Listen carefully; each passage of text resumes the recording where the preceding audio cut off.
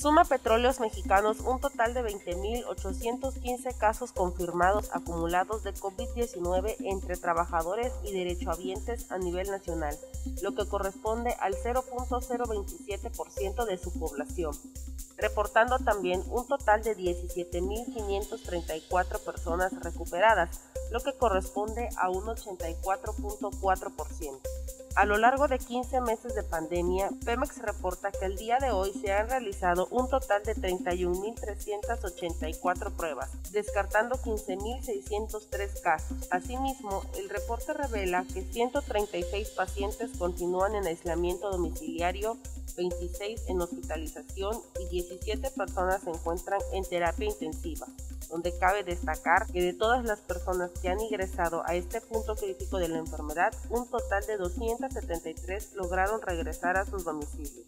Sin embargo, pese a las estrategias para contener el número de contagios entre trabajadores en activos, jubilados y derechohabientes, Pemex suma 3.066 defunciones. Debido a la contingencia, personal de salud ha implementado asesorías a través de videoconferencias donde atienden dudas y brindan información a personas con síntomas de problemas respiratorios, afectaciones mentales y padecimientos visuales.